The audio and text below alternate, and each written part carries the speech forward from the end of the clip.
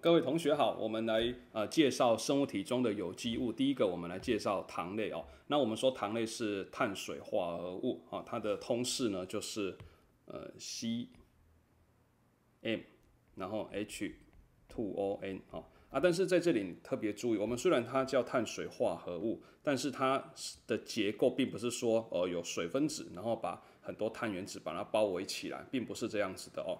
虽然我们大家都知道，如果你把呃，蔗糖或者是方糖，你用浓硫酸，它的确会脱水。那这个糖脱水之后，的确会形成焦炭哦。但是它结构上并不是这样子，那只是因为它里头呢，呃，糖类里头它的氢跟氧刚好二比一，所以我们就把它叫碳水化合物哦。那其实它是呃多个羟基的醛类或酮类，那跟它的衍生物那的总称哦。那我们把糖类分成。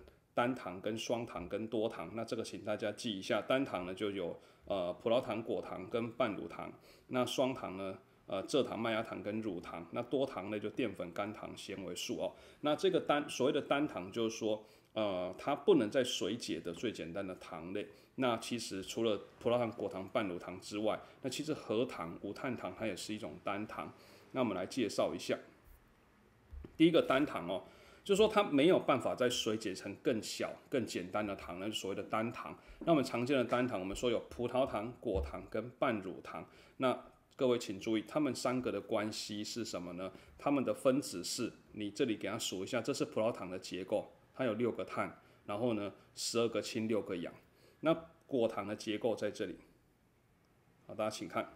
果糖还有那这是半乳糖，它们你数一数都是六个碳、十二个氢、六个氧，所以它们虽然结构看起来不一样，比方说你看这里有 CO 双键有没有？那这里呢，它的 CO 双键长在中间这里哦。那这个呃，这个就所谓的官能基，这个展现出这一个有机物它特殊的原子团就官能基哦。那这个官能基在这里啊呃提一下哦，提一下好，这个呢 CO 双键哦。CO 双键接一个氢啊，这个叫醛基哦，这大家参考哦，因为我们还没教到这里哦，啊，这叫醛基。然后呢，这个有 OH 的哦，有 OH，这里很多地方有 OH 哦。那这个 OH 呢，就叫做羟基。哦，那这个葡萄糖你给它数一数哦，葡萄糖给它数一数，它有一个醛，那几个羟呢？数一数，一二三四五，五个羟。好，这葡萄糖好。然后呢，果糖呢，大家看到果糖这里哦。果糖这里呢，它这个 CO 双键这个叫酮，哈，果糖叫酮糖哦。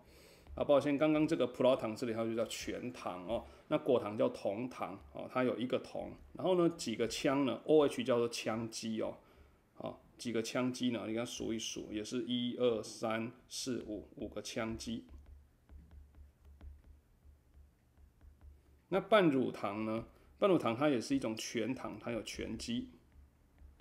哦，在西欧双键旁边有接氢，这叫做醛哦。啊，然后呢，这个 OH 呢，这个叫羟。啊，那半乳糖一样是五个羟基，然后呢一个醛基哦。但是它们这三个分子呢，哦，它们的结构不太一样哦，所以它们分子是一样，但是结构不一样，叫做同分异构物哦，同分异构物哦。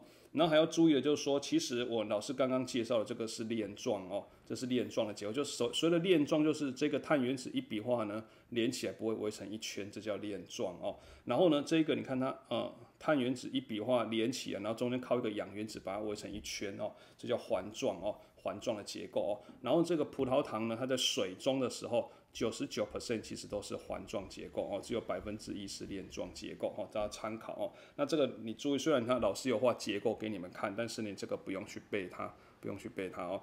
那最多最多，你如果想要事先了解的话，你就记一下它什么叫全基哦，就 CO 双键旁边有接氢，这里这叫。好，CO 双键旁边有接一个氢哈，这叫醛哦。然后有 OH 呢，这叫羟哈，这是官能基哦。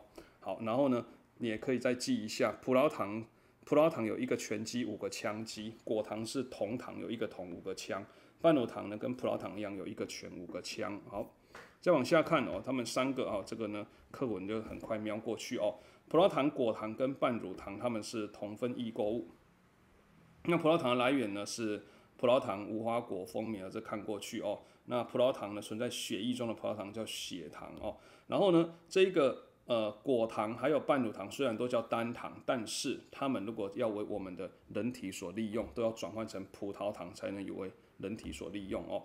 好，然后呢，这个果糖啊存在于蜂蜜跟水果哦，然后呢甜味最高哈，然后甜味调味的主要来源，半乳糖呢，乳糖水解可以得到半乳糖，自然界没有单独游离形式存在，而是跟葡萄糖形成乳糖哦。好，甜味最低哈，脑组织的重要养营养素哈，这看过去哦。好，那介绍一下双糖哦，双糖就是说两个单糖结合脱去一个水就叫双糖哦。比方说老师举例一下哦。比方说呢，呃，我们现在是啊，加麦芽糖，那麦芽糖呢，哦，呃，刚刚我们说常见双糖有蔗糖、麦芽糖跟乳糖哦，那麦芽糖是这样，它是两个葡萄糖，哦，我现在画两个葡萄糖，啊，抱歉，这里记不下，在这里画一下哦，啊，这是一个葡萄糖的结构。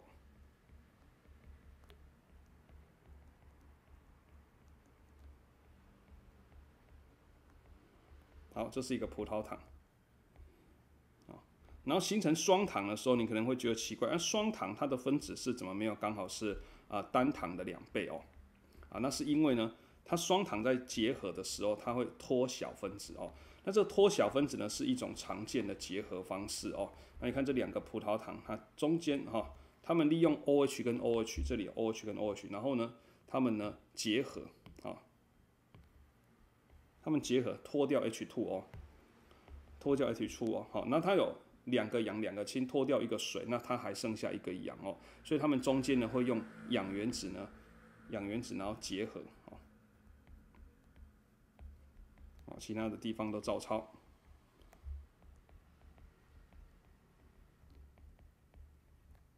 中间会用用一个氧原子间接在一起哦，那其他照抄。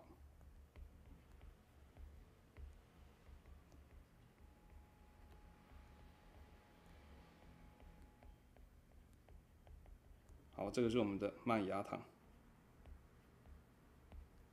啊，这么的麦芽糖，好，所以呢，它的双糖的分子式哦，双糖的分子式呢，就是呃单糖 C 六 H 十二 O 六，然后它的两倍，两倍之后呢，脱去一个水，才会形成双糖哦，所以双糖的分子式是 C 十二 H 二十四减二变二十二哈，O 十二减一变 O 十一，所以这是双糖的分子式哦。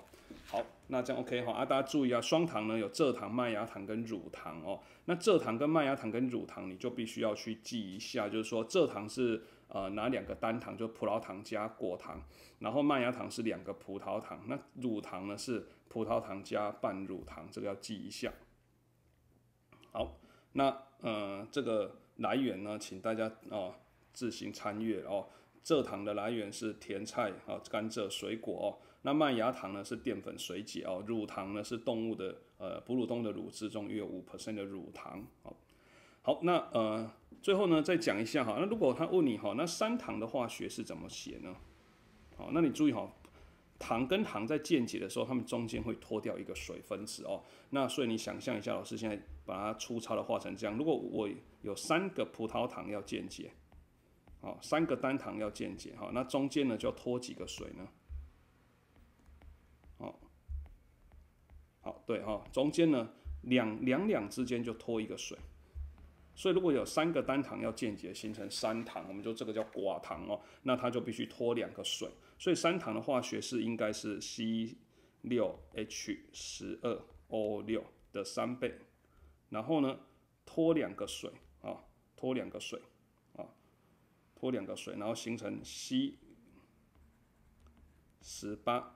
好，然后 H 三十六减四三十二，O 十八减二 O 十六，好，这三糖的化学式哦。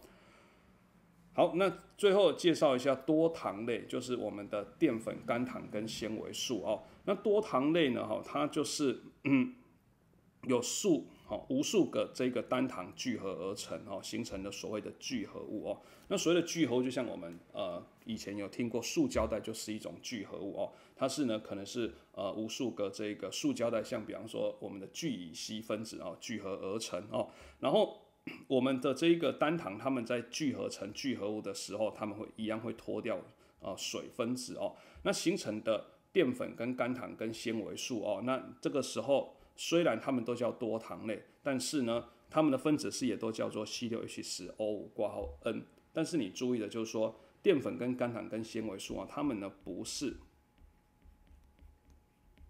同分异构物。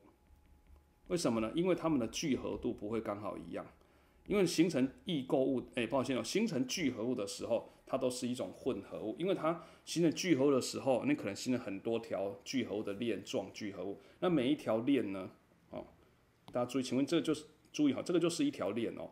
那每一条链，它可能它葡萄糖的聚合聚合的数量 n，哦，这个聚合度不会刚好相同哦。所以呢，淀粉、甘糖跟纤维素，它们它们的关系就不是叫同分异构物哦。好，比方说这个淀粉哈，它是几百个到几千个环状的阿尔法葡萄糖聚合而成，哈，然后呢，这这是淀粉，好，那淀粉呢还有分直链跟有支链的，哦大家请看到，像这个就是有支链分支出就有支链，好，那直链分子量比较小，有分支的分子量通常比较大，那直链的呢，呃，我们加热水煮一煮，它就会溶解哦，然后它遇到点会变蓝黑色。那如果有支链呢，就难溶于水，遇到点不会变蓝黑色，而这自己看熟哦。水解过程稍微记一下，淀粉呢加酸或加酵素，让它水解会先变成糊精。那这个糊精呢，它也是呃，它就它的聚合度就比较低啊。然后呢，糊精在水解就会可以得到双糖，就麦芽糖。那麦芽糖在水解之后就可以得到葡萄糖哦。好，那这个是纤维素哦，纤维素呢，它这个是贝塔葡萄糖哦，啊，这个一年级这里呢，你也不用记得这么清楚哦，啊，就是它就淀粉、纤维素它都是葡萄糖聚合而成就可以哦。那这个阿尔法跟贝塔呢，就是它们的这一个呃 O 羟基，就是 OH 的相对位置的差异哦，那所以它有阿尔法跟贝塔哦。好，呃，纤维素呢，这请大家看一下细胞壁的主要成分哦。好，那纤维素跟硫酸硝酸处理可以得到消化纤维素，它是一种呃呃炸药。好，那纤维素呢，如果在酸还有高温高压条件下，它会水解产生葡萄糖。好，这看过去哦。好，那最后甘糖也是一种多糖类，啊，特别注意哦，淀粉、甘糖、纤维素它都是多糖类，但是它们并不是同分异构，因为它们的聚合的 N 值不会刚好相等。好，那生物体的浓度降低的时候，呃，血糖浓度降低的时候，肝糖就迅速呢，呃，分解变成葡萄糖，以补充血糖的不足。好，再看一下。好，这以上呢是呃糖类，好糖类的讲解。